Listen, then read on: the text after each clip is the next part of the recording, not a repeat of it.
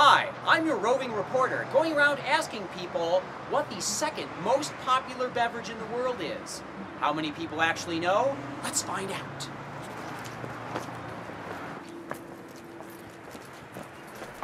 Come on!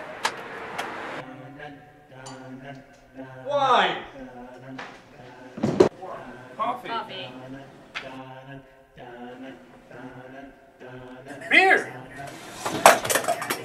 Cola!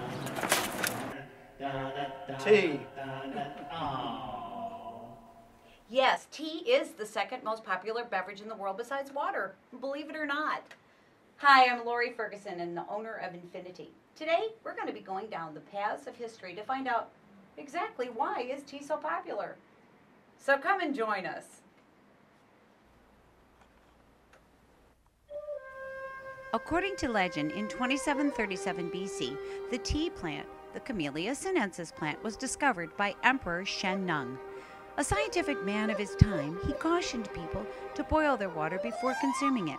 So while taking his afternoon break, sipping his warm water beverage, a leaf from a nearby bush came floating down and landed in his cup. It colored his cup, gave off a pleasant odor, and he sipped this cup feeling quite energized.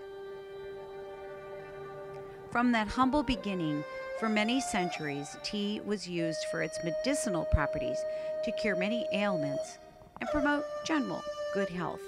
The healing qualities of tea had been used, as it still is today, to cure everything from tooth decay to stomach ailments to achieving a long and healthy life. Now, on to Japan, where tea started to become a lovely ceremony and ritual, other than just medicinal. Oh, uh, thank you. Thank you, dear. Oh, we're moving on now.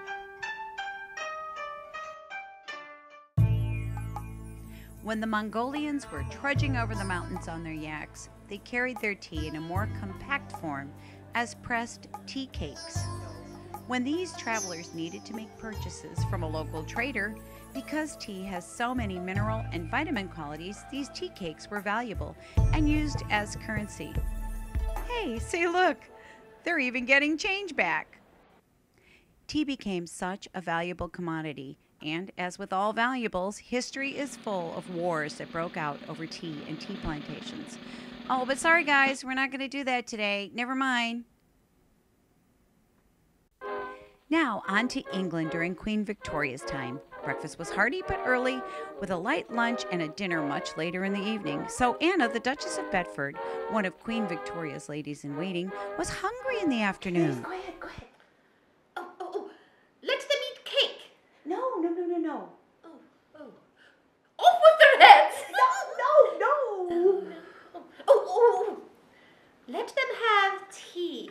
I, I'm not amused. So Anna is credited for the afternoon tea that consists of small sandwiches and pastries. Now tea began its social era. Women were not allowed to go unchaperoned anywhere except to the tea gardens. Wait a minute, don't I know you ladies from the other skit? No? Oh, never mind. In fact, tea was prepared at the house away from where it was served in the garden. Actually, the tradition of tipping started here. A wooden box marked TIPS was placed on the table to ensure prompt service, and coins were deposited into it before the service. So, all you servers, waiters, waitresses out there can thank the tea gardens for your tips today. This concludes the history of tea in our Adventure Tea series.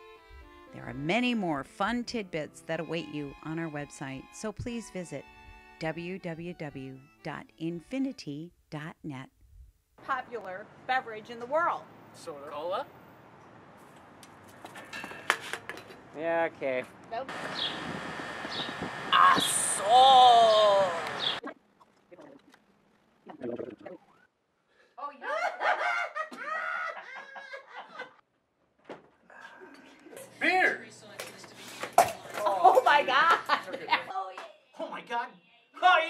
vision.